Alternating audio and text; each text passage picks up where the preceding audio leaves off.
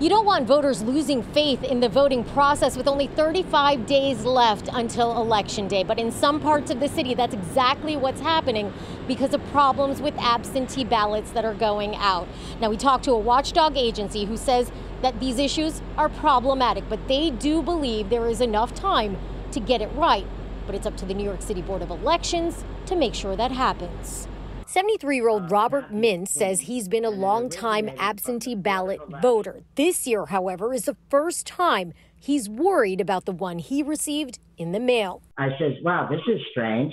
I haven't served a day in the military. Mintz is among a growing number of New Yorkers in Queens who says they received a ballot indicating it is for a member of the military.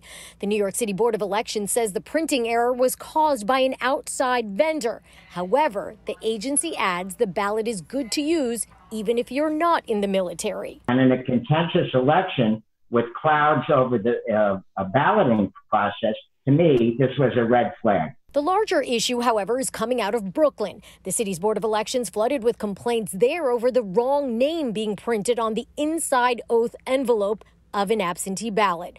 This, too, the board blaming on an outside vendor. And now they're forcing a reprint. We have demanded of the vendor, and the vendor has agreed to bear 100% the cost of redistributing the ballots to the voters that were affected. Common Cause New York, a watchdog agency monitoring the chaos, believes there is time to fix the problem. Ridiculous problem, but it is containable and fixable. The time to talk about how to fix it is not when we are in the pressure cooker of the election season. Some points to remember most ballots should go out with one forever stamp, but if you're from Queens, you'll need two stamps for a larger ballot. Absentee ballots can also be dropped off in person at any New York City Board of Elections office. Any polling location will also accept the ballots during the early voting period or on Election Day. Now, despite so many complaints about not being able to get through to the New York City Board of Elections, city, state officials, including the watchdog agency we spoke with, all want folks to continue to call in. It's 1 866 Vote NYC to request a new ballot.